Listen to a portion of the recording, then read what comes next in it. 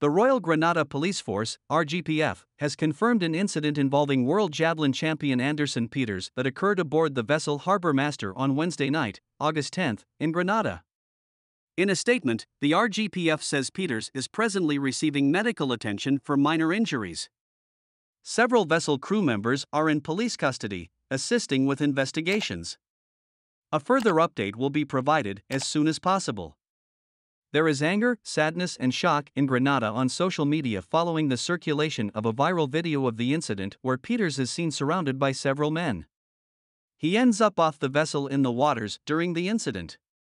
Peters, 24, who is a world champion javelin thrower, recently returned with a gold medal in the men's javelin from the World Athletics Championships in Eugene, Oregon, and a silver medal from the 2022 Commonwealth Games in Birmingham, England.